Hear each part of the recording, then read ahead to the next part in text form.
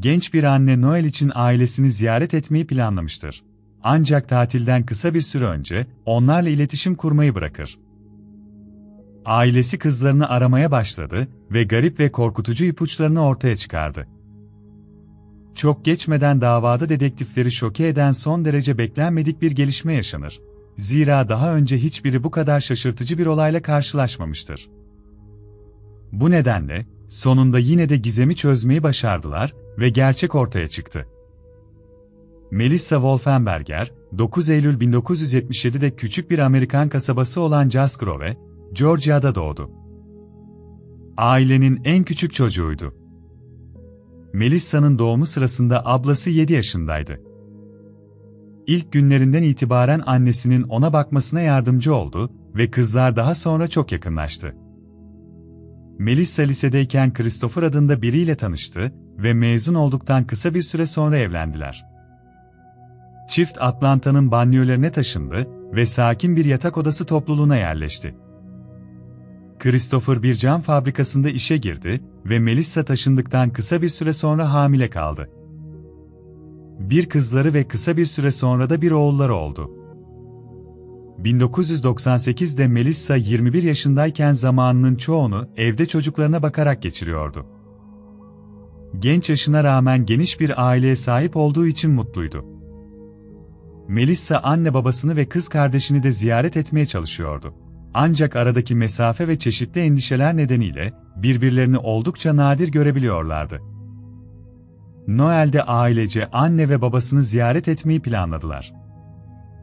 Bundan bir ay önce, Şükran gününü karısı annesinden özel bir hediye istemişti. Melissa büyük babasının eski bir resmini istemişti. Annesi tüm aile albümlerine baktı, uygun bir fotoğraf seçti ve kızı ile torunlarını bekledi. Ama Noel geldiğinde Melissa hiç gelmedi. Ailesi bunun garip olduğunu düşündü. Ancak ilk başta kadının bu yolculuk için zaman bulamadığını düşündüler. Ne de olsa, sürekli bakıma ve beslenmeye ihtiyaç duyan iki küçük çocuğu vardı. Ve son zamanlarda, Stephen'ın maaşı tek başına onlara yetmediği için bir kafede de işe girmişti. Ailesi de onu arayıp neden gelmediğini soramıyordu. Melissa'nın evinde telefon yoktu ve o yıllarda cep telefonları henüz yaygın değildi. Çoğunlukla Melissa onları kendisi arardı. Örneğin kocasının ailesinin evinden. Ancak son aramasından bu yana hiç iletişime geçmemişti. Sonunda ailesi beklemeye karar verdi. Ancak Melissa annesinin doğum gününde aramadığında ona bir şey olmuş olabileceğinden şüphelenmeye başladılar. İşte o zaman Atlanta'ya gitmeye karar verdiler. Ancak burada onları hiç beklemedikleri bir olay bekliyordu. Melissa ve kocasının yaşadığı ev tamamen boştu. Komşularla konuştuktan sonra, ailenin Noel'den hemen sonra taşındığını öğrendiler, ancak hiçbiri nereye taşındıklarını bilmiyordu. Ebeveynler için bu durum endişelerini daha da arttırdı. Kızlarının başka bir yere taşınmış ve bunu bildirmemiş olabileceğine dair güçlü şüpheleri vardı. Sonunda kocasının ailesiyle ve onlar aracılığıyla Kristoff'un kendisiyle temasa geçtiler. Ve burada onları başka bir beklenmedik keşif bekliyordu. Adam Melissa'nın Aralık ayında kendisini terk ettiğini ve o zamandan beri onu görmediğini söyledi. Ona göre Melissa Kaliforniya'ya taşınmaya ve hayatına yeniden başlamaya karar vermişti. Bu hikaye onlara son derece tuhaf geldi. İlk olarak, Melissa'nın ailesi, 1 ve 2 yaşlarındaki çocuklarını terk edebileceğine inanmayı reddetti.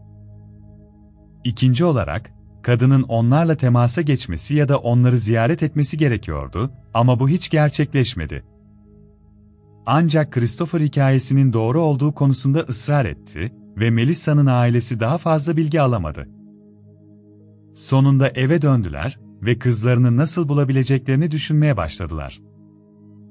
Sonraki birkaç ay boyunca, ailesi tüm arkadaşları ve akrabalarıyla temasa geçerek onun hareketlerini izlemeye çalıştı. Ancak Melissa toprağa düşmüş gibi görünüyordu. Bir gün Melissa'nın annesi, Atlanta polis memurlarının ormanlık bir alanın ortasında, bir torba içinde çamaşır suyuna batırılmış bir insan kafası bulduğu haberini gördü. Ve daha sonra, dört torba daha başka kalıntılar. Bulunduğu yerin Christoph'un eski işine yakın olduğunu hemen fark etmiş ve kalıntıların kızına ait olabileceğini düşünmüştür. Ancak polis daha sonra kızının izine rastlamadı ve yılın başlarında polisten yardım istemeye karar verdiler. Ancak bu da bir sonuç getirmedi. Müfettişler Christopher'la konuştular ve Melissa'nın gerçekten de ailesini terk etmeye ve hayata yeniden başlamaya karar verdiğine inandılar. Bu yüzden kendisiyle irtibata geçmemiş. Sonunda onu aramaktan vazgeçtiler. Ancak kadının ailesi hala böyle bir versiyona inanmayı reddediyordu. Aksine, her ay Melissa'nın başına kötü bir şey geldiğine daha da ikna oluyorlar ve bu konuda Christopher'dan şüpheleniyorlardı. Gerçek şu ki, çocuklarının doğumundan sonra evliliklerinde oldukça ciddi sorunlar vardı. Christopher defalarca Melissa'ya el kaldırdı. Bu bağlamda, Melissa onu birkaç kez çocuklarla birlikte ailesine bıraktı. Ancak adam her seferinde özür diledi ve onu eve dönmeye ikna etti. Aynı gerçek, Christoph'un samimiyeti hakkında başka sorular da doğurdu. Daha önceki tüm seferlerde aktif olarak karısını geri almaya çalıştıysa, neden bu sefer hiçbir şey yapmadı? Adam karısının ailesini aramadı. Polise gitmedi ve Melissa'yı kendisini terk etmemesi için ikna etmeye bile çalışmadı. Bir başka gariplik de Christopher'a göre karısının yanına hiçbir eşya, mücevher ya da belge almamış olmasıydı. Her şey son derece garip görünüyordu. Ancak polisin yardımı olmadan Melissa'nın ailesi bu konuda hiçbir şey yapamazdı. Ancak her şey son derece beklenmedik bir görüntüde değişti. Polis memurları 1977 yılında işlenen bir kadın cinayetini araştırıyordu. Dava 26 yıl boyunca çözülememişti. Ancak yakın zamanda mevcut kanıtları inceleyerek davayı yeniden ele almaya karar verdiler. Dedektifler bir DNA analizi gerçekleştirdiler ve katilin kimliğini tespit etmeyi başardılar. Melissa'nın babası Carl Patton olduğu ortaya çıktı. Ama bu sadece başlangıçtı. Polis onu tutuklar tutuklamaz, onlara bir anlaşma teklif etti. Adam, cinayetlere yardım eden karısına tam dokunulmazlık vermeleri karşılığında, dört cinayeti birden itiraf etmeyi kabul etti. Bu anlaşmaya ek olarak Melissa'nın annesi de kocasına karşı tanıklık etmeyi kabul etti ve kendisine dokunulmazlık verildi. İtiraflarına göre, Aralık 1977'de Jarl'ın Mare adında bir tanıdığı, kocasını öldürmesi karşılığında ona 15 bin dolar teklif etti. Gerekçe olarak da kocasının kendisini aldattığını göstermiş. Üstelik Mari kocası için bir sigorta poliçesi yaptırmıştı ve yüklü bir ödeme istiyordu. Karl kabul etti, yanına bir arkadaşını aldı ve cinayeti birlikte işlediler. Ancak o anda adamın yanında metresi de vardı, bu yüzden onu da öldürmeye karar verdiler. Suçlular kadının cesedini nehre attılar ve kaza süsü vermek umuduyla adamı arabada tren raylarının üzerinde bıraktılar. Bir ay sonra kar karısına, ortağının kız arkadaşına yaptıklarını anlattığını söyledi. Şimdi onlardan kurtulmak istiyordu. Adam onları evine davet ederek öldürdü ve karısıyla birlikte cesetleri nehre atarak ortadan kaldırdı. Kadın ayrıca olay yerini ve minibüsü kandan temizlemesine de yardım etti. Karl daha sonra diğerlerinden 5 yıl önce işlenen 5. cinayeti itiraf etti. Daha sonra aynı Mari, ilk kocasının cinayeti için ona para teklif etti ve Karl kabul etti. Böylece adam 5 cinayetle suçlandı. Polis, Melissa'nın kaybolması olayına karışmasıyla ilgileniyordu. Ancak kar kızına asla zarar vermeyeceğini ve bu olayla hiçbir ilgisi olmadığını söyledi.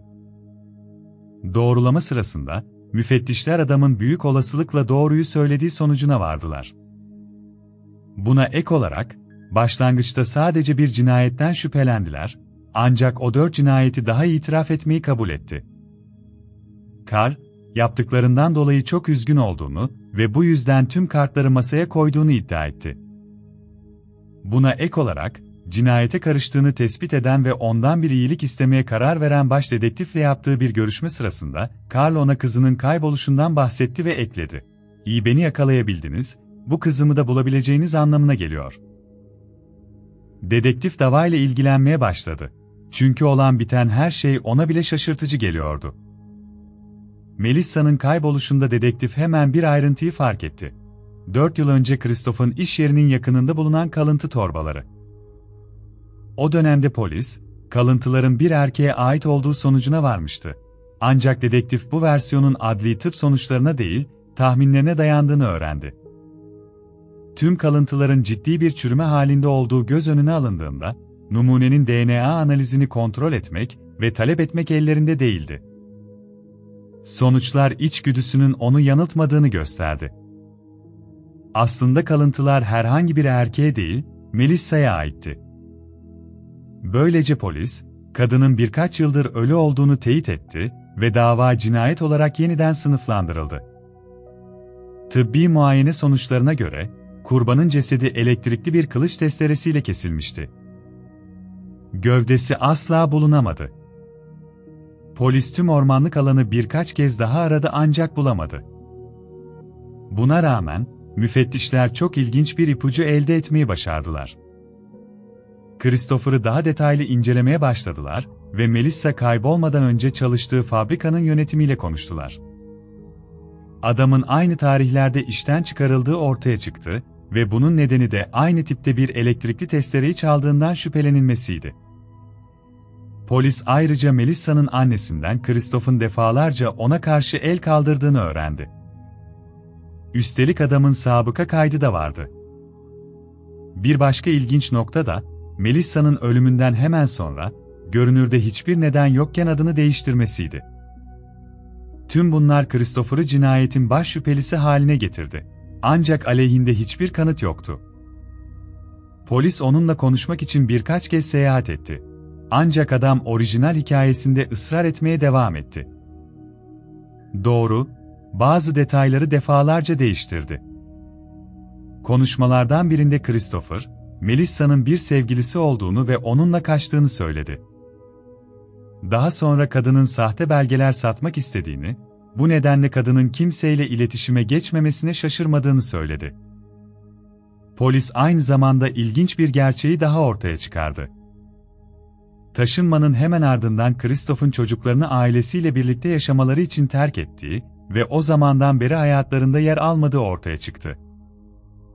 Sadece ara sıra onları ziyarete gelmiş, ancak çocuklar onun babaları olduğunu bile fark etmemişler. Ancak bunların hiçbiri tutuklama için yeterli değildi, çünkü somut kanıtlara ihtiyaçları vardı. Çok geçmeden Melissa'nın öldüğü sırada yaşadığı ev için arama emri çıkartıldı.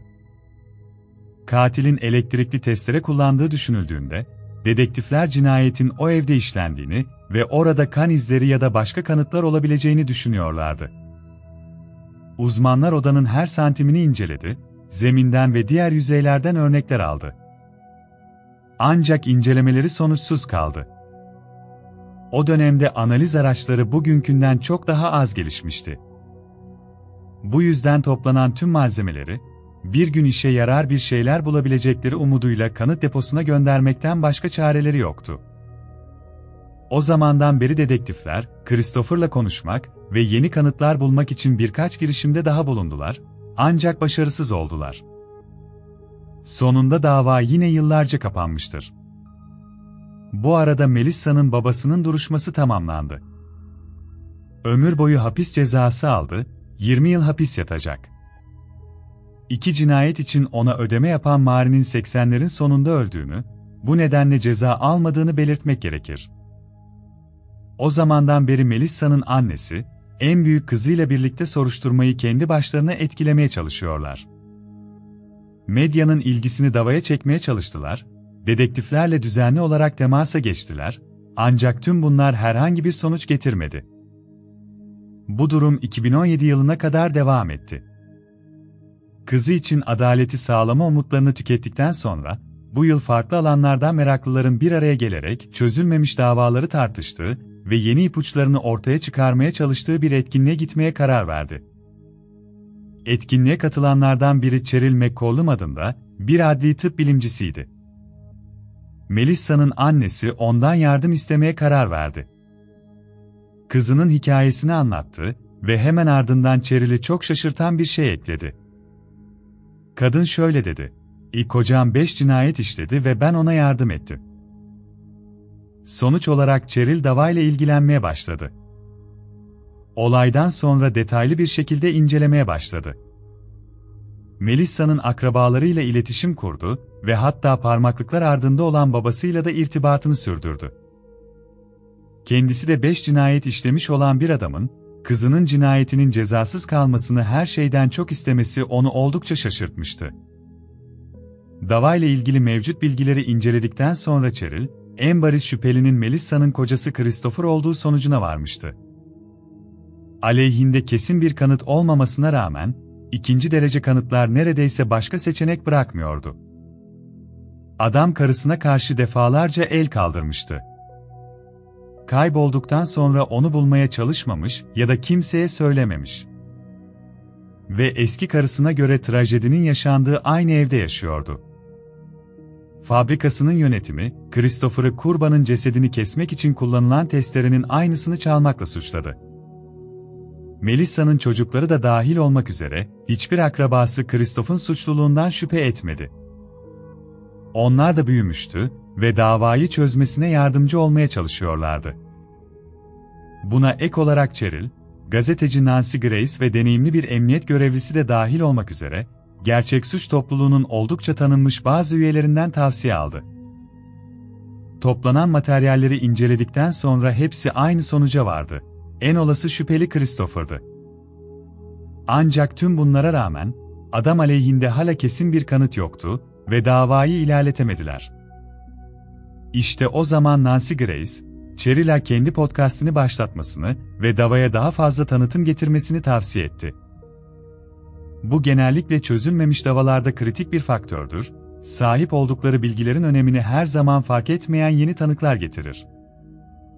Ve bir davanın gidişatını temelden değiştirebilir. Sonuç olarak Cheryl bir podcast yayınlamaya karar verdi. 2023 yılında Melissa'nın davasının ilk bölümü yayınlandı. O zamandan beri, kurbanın annesi ve diğer akrabalarının da katıldığı birçok bölüm kaydetti. Cheryl dinleyicilere yıllar boyunca toplamayı başardığı tüm mevcut bilgileri sundu. Ancak hala bir ilerleme yoktu. Bu durum, davada uzun zamandır beklenen bir gelişmenin yaşandığı Nisan 2024'e kadar devam etti. Bir başka bölümün ardından Cheryl'e ulaşan bir tanık, podcast'te tesadüfen rastladığını ve yararlı bilgilere sahip olabileceğini söyledi. Adam, Melissa'nın kaybolmasından kısa bir süre önce Melissa ve Christopher arasında ciddi bir tartışmaya tanık olduğunu açıkladı. Cheryl ile sadece birkaç ay önce irtibata geçtiği için hikayesinin tüm detayları hala bilinmiyor ve dedektifler soruşturmanın selameti açısından önemli detayları açıklamamaya karar verdiler. Görünüşe göre Christopher tartışma sırasında Melissa'yı tehdit etmiş olabilir. Cheryl onun hikayesini hemen polise aktardı. Bu bir dönüm noktası oldu. Müfettişler soruşturmayı yeniden açmaya karar verdiler. Sonraki birkaç ay boyunca polis memurları dava dosyasını gözden geçirdi, olaya karışan herkesle görüştü ve en son teknolojiyi kullanarak kanıtları inceledi. Uzmanlar, kalıntıların bulunduğu torbaları ve cinayetin işlendiği anlaşılan Christopher ve Melissa'nın evinden alınan çeşitli örnekleri inceledi. Ağustos 2024'te müfettişler, bir basın toplantısı düzenleyerek Melissa'nın ölümünden 25 yıl sonra kocasının nihayet tutuklandığını duyurdular. İfadede olduğu gibi, polis yetkilileri yeni soruşturmanın hangi kanıtları ortaya çıkardığını açıklamadı. Bazı kaynaklara göre, modern araçlarla yapılan yeniden analizler sırasında uzmanlar, Christoph'un cinayete karıştığını doğrulayabilecek bazı DNA izleri ve başka güçlü kanıtlar bulmayı başardı. Dedektiflerin henüz tüm detayları vermemesinin nedeni oldukça standart. Duruşma başlamadan önce ne kadar çok şey bilinirse, avukatların bu bilgileri kendi lehlerine kullanma ve bu kanıtlara nasıl itiraz edeceklerini bulma şansları o kadar artar. Christopher şu anda hapiste yargılanmayı bekliyor. Şimdiye kadar, suçsuz olduğunu iddia etmesi ya da tam tersine suçunu kabul etmesi beklenen bir ön duruşma bile yapılmadı. Ancak Melissa'nın yakınlarının, adamı suçlu bir kararın beklediğine dair çok az şüpheleri var. Davayla ilgilenen araştırmacılara göre, gerçekten de karşı çıkılması son derece zor olacak çok ciddi kanıtlar bulmayı başarmışlar. Böylece, neredeyse 26 yıl sürmüş olsa da bu dava sona ermiş oldu. Melissa'nın hikayesi tüm ülkeye yayıldı ve detayları gerçekten şaşırtıcı hale geldi. İlk olarak, polis memurları kurbanın artık hayatta olmadığı gerçeğini tespit edebildi, çünkü babası 5 cinayetten tutuklanmıştı ve müfettişlerden kendisine yardım etmelerini istedi. Podcast daha sonra, ifadesi soruşturmanın yeniden açılmasına ve nihayetinde, Christoph'un tutuklanmasına yol açan bir tanığın dikkatini çekmede kilit bir rol oynadı. Melissa'nın çocuklarına gelince, onların da babalarının suçlu olduğuna dair hiçbir şüpheleri yok ve adaletin yakında yerini bulacağını umuyorlar. Suçlu kararını beklemenin yanı sıra, tüm gerçeği ve Kristoff'un nedenlerini de bilmek istiyorlar. Ancak bu sadece adam itiraf ederse mümkün olacaktır. Katil her zaman nihai kötü, her türlü sınırı aşmış zalim bir insan mıdır? En parlak niyetlerle beslenen samimi, sevgi ne sıklıkla nefrete ve korkuya dönüşür? Kocasının kanlar içindeki bedenine baktı ve bir sigara içti.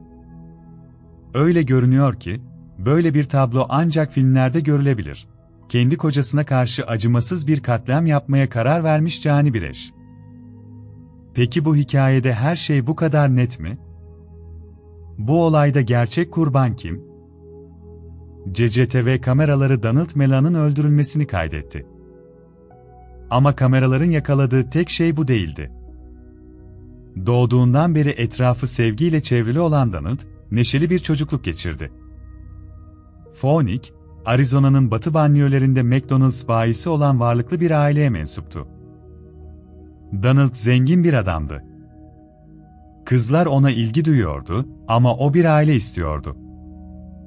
Bu yüzden tüm kaçamakları ve karşılaşmaları reddetti.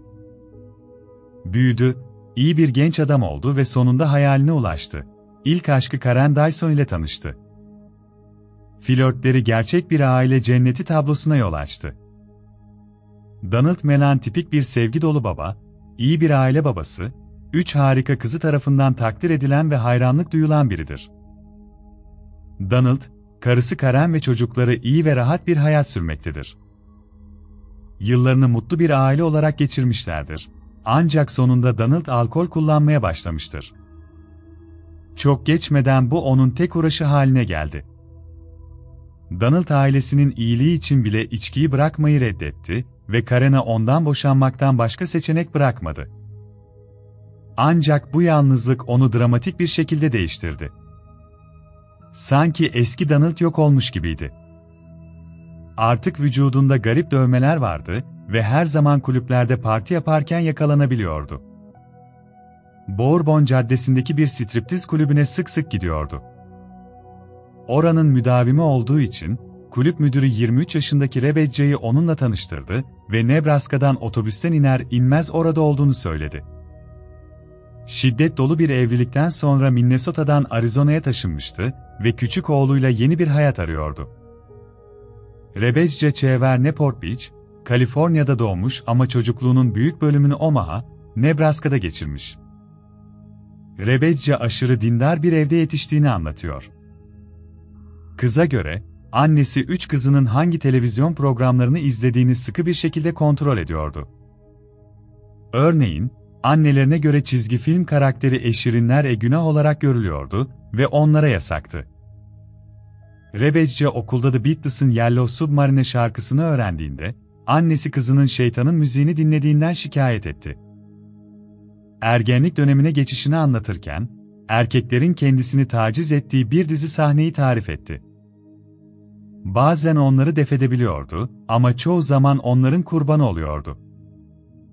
Rebecca ergenlik çağındayken ailesine yakın değildi.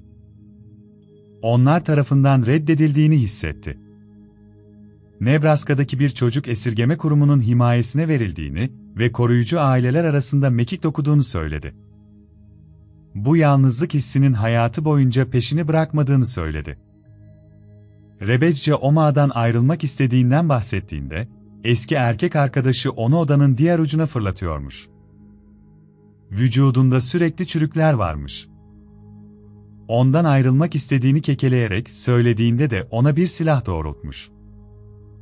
Ama kız artık tacizci erkek arkadaşıyla bu hayatı yaşayamazdı. Bir gün onu öldürecekmiş gibi hissediyordu. Bu yüzden bir gece evden kaçıp Minnesota'ya gitti.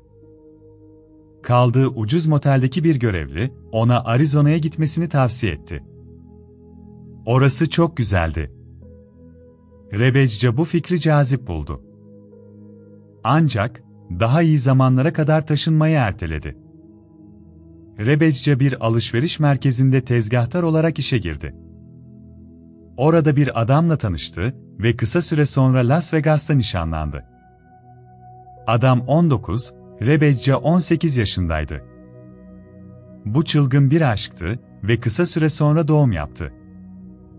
Bir oğulları oldu ama daha sonra peri masalları sona erdi. Rebecca tekrar tacize uğradı. Kocası çalışmayı bıraktı ve aileye destek olmak için Rebecca gece kulüplerinde dans etmeye başladı.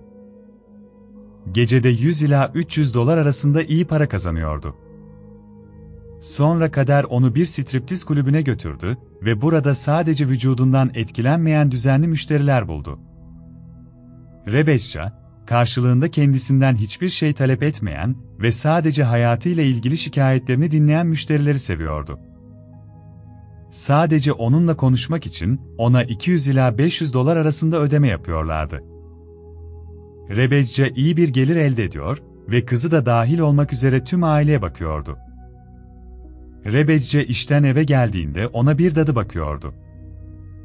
Ancak kocası evde olduğunda işler zorlaşıyordu. İşsiz ve sarhoş kocası sadece boynuna oturmakla kalmıyor, aynı zamanda onu mümkün olan her şekilde taciz ediyordu. Bir gün kocasını terk etmeye karar verdi ve düzenli olarak çalıştığı zengin müşterilerinden birine kocasını şikayet etti. Adam ona eşinden Arizona'ya kaçması için 20 bin dolar verdi. Rebecca bebeği aldı ve kaçtı. Doğu Phoenix'te başka bir daireye taşındı ve gece kulüplerini değiştirdi. Bazı müdavimleri onu orada takip etti. Kulüpte DJ olarak tanınan Donald Melan ile tanıştı.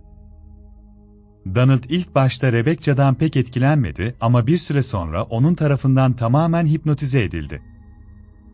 Ona o kadar aşık oldu ki, onu ve 11 yaşındaki oğlunu hayatına kabul etmeye hazırdı. Ancak Donald'ın kızları Rebecca'dan hoşlanmıyor ve onun babaları üzerinde olumsuz bir etkisi olduğuna inanıyorlardı. 2 Ekim 2003 tarihinde Rebecca Donald'ın yanına taşındı ve 2 yıl sonra evlendiler. 6 ay sonra ilk sorun işaretleri ortaya çıkana kadar her şey yolundaydı. Eskiden 36 yaşında olan Rebecca alkol bağımlısı olmuş ve Donald ile birlikte gece gündüz içip öğün atlamaya başlamışlardır. Evlerinde bulunabilecek sadece iki şey vardı. Alkol şişeleri ve 46 yaşındaki Donald'ın topladığı korkutucu bir silah cephaneli. Bu, çok geçmeden tam bir kaosa yol açan ölümcül bir kombinasyondu. 31 Temmuz 2012'de, saat 22.00 sularında, polis sarhoş bir Rebecca'dan telefon aldı. Kelimeleri geveliyor ve kocasının ağır kanaması olduğu için evine bir ambulans gönderilmesini istiyordu. Polis ve sağlık görevlileri Donald'ı kurtarmak için olay yerine geldi, ancak gördükleri karşısında şok oldular. Rebecca oturma odasındaki kanepede elinde sigarasıyla sakince otururken, Donald yanı başında yerde kanlar içinde yatıyordu. Sağlık görevlileri Donald'la ilgilenirken, polis Rebecca'ya şüpheyle bakmaktan kendini alamadı. Kocasının durumuna neden bu kadar kayıtsız kalmıştı? Sonra köpeğin yanındaki minderlerin altından çıkan silahı ve duvarda asılı duran düğün günü portresinin çerçevesindeki kurşun deliğini gördüler. Tüm bunları gördükten sonra Rebecca'yı bir kenara çektiler.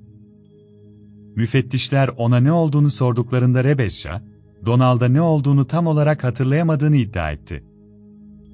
Odasından yeni çıktığını ve onu yerde kanlar içinde görünce hemen 911'i aradığını söyledi. Birkaç soruya daha yanıt verdikten sonra görüşme sırasında uyuyakaldı. Donald birkaç saat sonra hastanede öldü. Bu, polisin artık cinayeti soruşturduğu anlamına geliyordu. Dedektifler soruşturmaya başlamadan önce, Donald'ın kızları, onun bir sesli mesaj bıraktığını fark etti. Kendilerini geri aramalarını istediğini duymuşlar, ardından da mesajın tam ortasında yüksek bir ses duymuşlardır. Kafası karışan kızları polisi aradı, ancak dedektiflerin Donald'ın ölümü hakkında söylediklerine inanamadılar. Bunların babalarının son sözleri olduğunu anladıklarında kederden kahroldular. İlk ipuçlarının ardından polis olay yerini incelemeye başladı ve evin arkasında CCTV kameraları olduğunu keşfettiklerinde şaşırdılar. Sonrasında keşfettikleri şey ise şok ediciydi. Donald'ın korkunç cinayetinin tamamı güvenlik kameralarına yakalanmıştı. Oğlu geceyi arkadaşının evinde geçirmeye gittikten sonra Rebecca kocasıyla yalnız kalmıştı. Daha sonra bir silah kaptı ve oturma odasına girdi. Donald kızına sesli mesaj gönderirken, Rebecca'nın varlığından habersizdi ve ilk ateşi edene kadar ona arkası dönük bir şekilde duruyordu. Kurşun kafatasını sıyırıp geçti ve doğrudan Rebecca'nın düğün portresine saplandı. Ani saldırı karşısında çığlık attı ve oturma odasında kanepenin yanına yığıldı. Rebecca odasına geri döndü ve A Shooter's World E tişörtünü giydi. Daha sonra geri döndü ve onu doğrudan başından vurdu. Kan yere dökülürken Rebecca kanepeye, ölmek üzere olan kocasının yanına oturdu. Dikkatsizce bir sigara yaktı ve 911'i aramadan önce 23 dakika boyunca Donald'ın kan kaybından ölmesini izledi. Bu cinayet sahnesi o kadar rahatsız ediciydi ki görüntüler kamuoyuna açıklanmadı. Güvenlik kamerası görüntüleri, bunun açık bir soğukkanlı cinayet vakası olduğunu kanıtlıyordu. Asıl soru artık kimin yaptığı değil, neden işlendiğiydi. Sebep neydi? Rebecca'nın hikayesi sürekli değişiyordu. Artık Donald'ın kendisini öldürmesi için birini tutmayı ve bunu başarısız bir soygun girişimi gibi göstermeyi planladığını söylüyordu. Bir gün silahı Rebecca'ya fırlattı. Rebecca bunu neden yaptığını sorduğunda, e ne zaman ihtiyacın olacağını asla bilemezsin, e demiş. Bu yüzden Donald 31 Temmuz'da telefonda konuştuğunda, planını uygulamaya koymaktan bahsettiğinden korktu. Rebecca o anda aklını kaçırmış, bir silah kapmış, oturma odasına girmiş ve ateş etmiş. Ama hikayenin geri kalanını hatırlayamadı. Müfettişler hikayeyi derinlemesine araştırdıkça, çiftin kırlı geçmişi hakkında daha fazla şey öğrendi. Bir aile dostu, tuhaf çiftin katıldığı partilerin çok eğlenceli olduğunu anlattı. Donald çok karizmatik, komik, en şaşırtıcı ve cömert insanlardan biriydi. Rebecca ise genç, güzel, şımarık ve eğlenceliydi. Ama Donald'ın eski karısı farklı düşünüyordu. Rebecca'nın şehvet düşkünü bir genç kız ve alkolik olduğunu düşünüyordu. Evlerinde alkol nehirler gibi akıyordu ve bu çocuk yetiştirmek için sağlıklı bir ortam değildi. Rebecca'nın ergenlik çağında olan ve her şeyi gören oğlu için üzülüyordu. Donald ve Rebecca el ele kendi kendilerini yok etme yolunda ilerliyor, sadece alkol değil, korkunç bir silah cephaneliği de stokluyorlardı. Her yerde ve bütün gece içiyorlardı ve sanki hiç uyumuyor ya da yemek yemiyorlardı. Bu tam anlamıyla bir felaket reçetesiydi. Aile dostlarına göre, bilmedikleri şey Donald'ın küçük şeyleri kıskandığı ve ilişkilerinin başından beri Rebecca'nın hayatını kontrol ettiğiydi. Onu striptiz kulübünden ayrılmaya zorladı. Ev işleriyle kısıtladı ve o zaman bile Donald onu her seferinde eleştirdi ve onu taciz etmeye başladı. Rebecca'yı, kendi deyimiyle onu e işaretlemek için isminin yazılı olduğu bir dövme yaptırmaya zorlamıştır. Nisan 2006'da Rebecca ve Donald bir bardan çıkarken tartıştılar ve birbirlerini ittiler. Donald daha sonra eşini tekmeleyerek acımasızca dövmeye başladı. Başka bir ilçede görev yapan bir şerif yardımcısı bu sahneye tanık oldu. Onları takip etmeye karar verdi ve polisi aradı. Şerif yardımcısı memurlara, Rebecca'nın Donald'dan hızla uzaklaştığını gördüğünü söyledi. Polis memuruna göre daha sonra Donald'ın Rebecca'ya yaklaştığını ve kafasına vurduğunu görmüş. Kız yere düşmüştür. Donald daha sonra karısını yakaladı ve onları bekleyen taksiye gitti. Bu noktada polis tarafından yakalanmışlar. Rebecca'nın burnu kanamış, dudaklarında çizikler ve gömleğinde kan lekeleri vardı. Polis memuru yaralarının fotoğrafını çekmeye çalıştığında, Rebecca arkasını döndü ve orta parmağını gösterdi. Bir polis memurunun dayağı görmesine rağmen Rebecca kocasını korudu ve onun hiçbir şey yapmadığını iddia etti. Sadece ayağa takılmış ve düşmüştür. Rebecca polise zamanlarını boşa harcadıklarını, onu terk etmeyeceğini söyledi. Donald'ın yanağında ve sağ gözünde küçük bir çizik vardı. Memurlara karısıyla normal bir konuşma yaptıklarını söyledi. Adam bunun bir tartışma olduğunu reddetti. Kadının kendisine doğru döndüğünü ve ayağının takılarak yüzünün yüzüne çarpmasına neden olduğunu söyledi. Donald saldırı suçlamasıyla tutuklandı, ancak saldırıyı reddettiği için kısa süre sonra serbest bırakıldı. Aralık 2006'da polis gece yarısından sonra Melanların evine çağrıldı. İddiaya göre bir misafir aile içi bir anlaşmazlığı bildirmek için aramıştı. Bu kişi çiftin tartıştığını ve Donald'ın tartışma sırasında bir bilardo masasını kırıp devirdiğini söyledi. Tanık, ikilinin sık sık şiddete varan tartışmalara girdiğini bildirdi. Eve gelen polis memurları çifti soyunma odasında tartışırken gördü. Rebecca yerde oturmuş ağlarken, Donald onun üzerinde durmuş ve ona bağırmıştır. Rebecca neden ağladığını cevaplamayı reddetti. Hatta polise adını bile vermeyi reddetti. Kız polis memurlarına evlerinden çıkmaları için bağırmaya başladı. Sonunda adaleti engelleme şüphesiyle tutuklandı. Mart 2011'e gelindiğinde Melanalar Batı Fonin'e taşınmışlardı. Polis bu eve geldi çünkü birisi panik alarm düğmesine basmıştı. Donald polise karısının yüzünü yatağın başlığına çarptığını söyledi. Panik düğmesine kimin bastığından emin olmadığını ama bir köpek olduğundan şüphelendiğini söyledi. Yatak odasında memurlar, Rebecca ile konuşup adını söylediler. Bir kadın memura baktı ve iki kelime fısıldadı, iyi yardım edin. Protokolü takip eden memur, ilişkilerini değerlendirmek için bir dizi soru sordu. Öv partneriniz size ne sıklıkta ve ciddiyetle zorbalık yapıyor ya da tehdit ediyor? Her gün E diye cevap verdi. Partneriniz ne sıklıkla sizden bir şey yapmanızı talep eder ve yaptığınızı kontrol eder? Güldü ve i her gün E dedi. Partnerinize hiç ayrılmak istediğinizi söylediniz mi?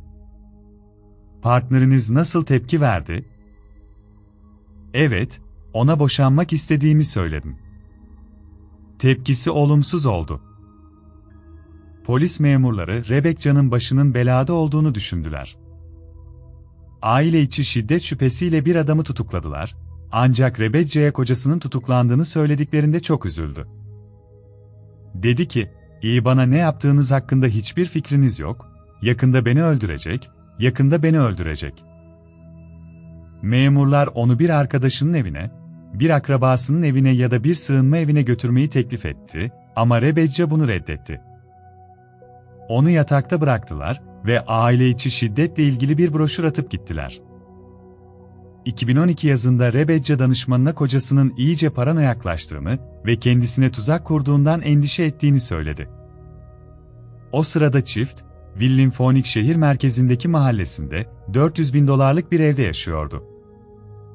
Rebecca'ya göre Donald onu takip etmek için eve kilitler ve CCTV kameraları yerleştirmişti. Ancak soruşturma, gözetim sisteminin Temmuz 2012'nin sonlarında evlerine hırsız girdikten sonra kurulduğunu ortaya çıkardı. O sonbahar Rebecca kararlıydı ve kocasını terk etmeye çalıştı. kocasının iPod'unu kırdığını, telefonunu bozduğunu ve kendisini evden dışarı kilitlediğini söyledi. Psikoloğa o noktada işinin bittiğini düşündüğünü bildirmiştir. 31 Temmuz 2012'de, iyi bir ilişkiye sahip oldukları eski komşuları olan misafirleri geldi. Rebecca'nın içki içmesi konusunda endişeliydiler ve onlar gittikten sonra Rebecca kocasının kendisini odanın diğer ucuna fırlattığını söyledi. Rebecca kendini savunmaya çalışmış ancak bu çatışma kamera kayıtlarına geçmemiştir. Ancak polis görüntülerde Donald'ın ve bazen de Rebecca'nın çok fazla şiddet uyguladığını, şefkat ve tutkunun yanı sıra çatışma ve şiddetli kavgalarla dolu çok fırtınalı bir ilişkileri olduğunu tespit etti. Melan ailesindeki şok edici değişim, cinayetten önceki bir yıl içinde eve 21 kez polis çağrıldığının ortaya çıkmasıyla devam etti. Kamera kayıtlarında Donald'ın Rebecca'yı yere ittiği, kafasına vurduğu ve hatta bazen boğduğu sayısız olay görülmüştür. Bir keresinde Rebecca'nın bacaklarından tutup havuza fırlatmıştır. Rebecca tutuklandıktan sonra nefsi müdafaa iddiasında bulunmuş, bu da kendisine şiddet uygulayan kocasının eşi tarafından darp edildiği için sempati toplamış, ancak Donald'ın ailesi Rebecca'nın Donald'ın kendisine yönelik tacizleri nedeniyle tahrik edilmiş olması gerektiğinde ısrar etmiştir. Eski eş, Donald'ın sadece CCTV kameraların yerleştirmediğini, Rebecca'nın kendisini öldüreceğinden korktuğunu ve ona zarar vereceğini bildiğini iddia etti. Ayrıca kocasının kendisine asla şiddet uygulamadığını da söyledi. Rebecca'nın avukatı ise Rebecca'nın Donald'ı öldürmeyi asla amaçlamadığını savundu. Yıllardır sürekli tacize uğrayan bir kadın, onu gerçekten öldürmeye niyetliyse neden sadece başının üzerinden geçecek bir el ateş etsin? Bunun amacı ne olabilir ki? dedi. Tüm bu ifadeler birçok kişide son derece çelişkili duygular uyandırdı. Ancak bir gerçek yatsınamazdı. Sebep ne olursa olsun Rebecca ateş etti. Rebecca cezasını hafifletmek için ikinci derece cinayet suçunu kabul etti. Hüküm giyerken, o korkunç gecede içki içtiğini itiraf etti.